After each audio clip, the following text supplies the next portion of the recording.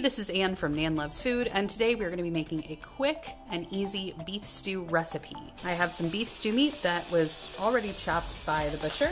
We're going to give this a generous sprinkle with salt and a good bit of freshly cracked black pepper. Now that we've got a good sear on the meat, we're going to turn it around. Now that we're starting to get a good sear on the other side of the meat, I'm just going to take a couple of tablespoons of flour and get that sort of integrated and cooking with the meat. We'll just want to make sure that we cook out that flour taste. This got a little too dry, so I'm gonna add in some oil, adding a couple of shakes of Worcestershire sauce, and a little bit of broth made with the better than bouillon. Potatoes, carrots, and onions. Turn the slow cooker on low for about six hours. Feel free to add a little bit of red wine at this stage, another generous sprinkle of salt, and in about five minutes, we've got dinner cooking and ready to go. I added a little bit of fresh parsley on top, and dinner is served.